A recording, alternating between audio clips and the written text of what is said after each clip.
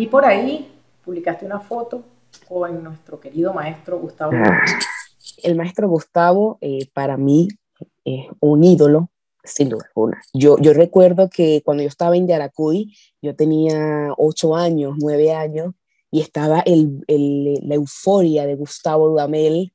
Mira, eso para, para nosotros era, wow, Gustavo, Gustavo. Y tuve la oportunidad que hubo un, un, mega concierto en Barquisimeto, fue la orquesta de Barquisimeto, la, la, la Simón Bolívar y la orquesta de Yaracuy.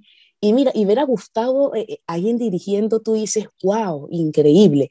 Y tuve la fortuna de estar en Barcelona al mismo tiempo que el maestro Gustavo, pude asistir a un concierto, a un ensayo de la ópera de Otelo y estaba eh, Mónica cerca del maestro, como a tres, eh, tres filas, y, vi a Gustavo, mira, te puedo decir que toda la ópera estuve viendo a Gustavo, perdón, pero de verdad que no puedo dejar de verlo, y todo el tiempo estuve viendo al maestro Gustavo, yo digo, wow, de verdad que ahorita es que confirmo todo lo que las personas dicen de Gustavo, que, que es un genio, o sea, Gustavo increíble, o sea, yo, yo lo vi de cerca y veía todos sus gestos y decía, wow, qué increíble, no, no, es por ser venezolano ni por ser nacionalista, pero Gustavo es un genio, un gran director y, y es, y todo lo que Gustavo ha hecho, porque no solamente eh, hablemos eh, de la dirección orquestal, sino musicalmente, Gustavo para mí ha marcado historia.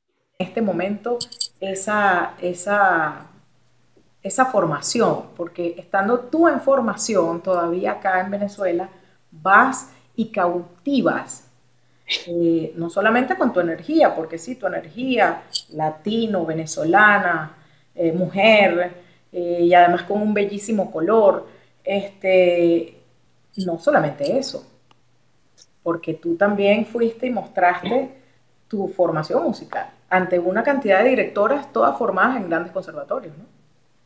Sí, Mónica, eh, es increíble, ¿no? Quizás a veces suena un poco fácil. Mira, eh, fuiste a un concurso y tal, como hiciste en la primera ronda, pero, pero de verdad que es ir a un concurso es algo muy grande, una responsabilidad muy, muy fuerte y aún más si no hablas el idioma que yo creo que es una de las barreras principales que, que tú tienes como, como músico. Yo me sorprendí, Mónica, cuando yo quedé en, en, el, en, la primera edición de La Maestra, porque claro, no, no te voy a negar que yo vi a mis compañeras y, y yo digo, wow.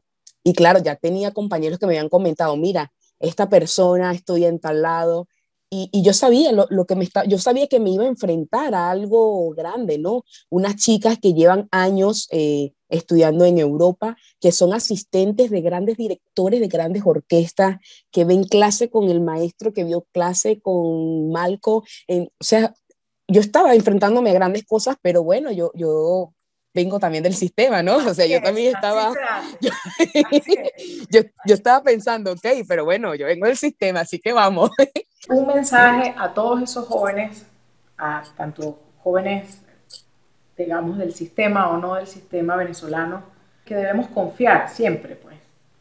Ese mensaje a los jóvenes de que los sueños se cumplen yo creo que eh, partiendo de la experiencia que, que, he tenido desde los cuatro años de edad en el sistema y la experiencia que estoy teniendo actualmente, eh, yo, yo por lo menos quisiera agregar algo y decirle a todas las personas que cada quien tiene una luz, cada, cada persona tiene una luz y todos tenemos el derecho y podemos llegar al éxito. Todo va a depender de cómo sea el éxito para ti. Cada quien tiene un éxito eh, personal.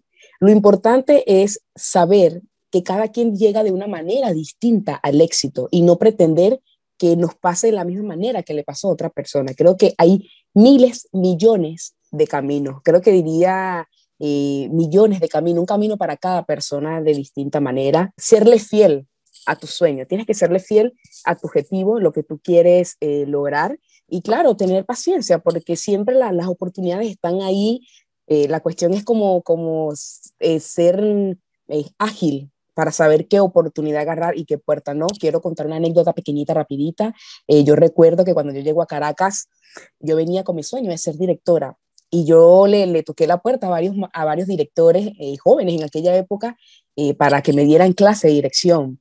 Y bueno, en ese momento esa puerta no se abrió, no se abrió, no se abrió. Y cuando tata, llegué a la puerta de mi maestra, Teresa Hernández, ella me abrió esa puerta después, siendo una maestra graduada aquí en un gran eh, conservatorio en Europa, que le haya dicho una chica que ni siquiera sabía marcar un cuatro ni nada, bienvenida a la cátedra de dirección, por, eh, eso para mí fue lo mejor eh, de mi vida y por eso todo mi, mi, mis triunfos y todo se lo debo a la maestra Teresa Hernández. E incluso, ojalá las, las, cosas no, no diría, Glass Marcano triunfó en, en, Europa, sino Teresa Hernández triunfó en Europa, porque yo soy todo lo que soy como directora gracias a la maestra Teresa Hernández, porque con ella se me abrió la puerta. Y esta anécdota la, la comento, eh, Mónica, para decirle a las personas que cuando no se abra esa puerta, al principio no es esperarse, porque cuando sea la que se abre, esa es la puerta que te va a cambiar la vida. Y bueno, cuando se me abrió la puerta de la maestra Teresa, me cambió toda la vida. Y estoy aquí hablando contigo, es gracias a la maestra Teresa.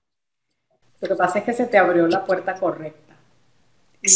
Y, eso no todo el mundo puede orientar, puede formar, puede dar clase. Y la maestra Teresa Hernández, quien ha formado muchísimos jóvenes directores y además estuvo al frente de muchísimos núcleos aquí, porque... Eh, entonces, Glass, yo no me queda más que agradecerte el espacio, el compartir esta experiencia con, con todos estos, todas las personas que nos ven, con todos nuestros eh, asiduos del programa y, y nuestros, sobre todo los jóvenes y músicos del sistema. Deseo todo el éxito del mundo, que continúen los éxitos, que continúe el, estudio y bueno, llevando la bandera de Venezuela y del sistema en alto como lo has hecho todo este tiempo. Mónica, muchísimas gracias a ti y gracias por crear este espacio para tener estas conversaciones íntimas eh, con todos los músicos y con todas las personas que, que ven este programa.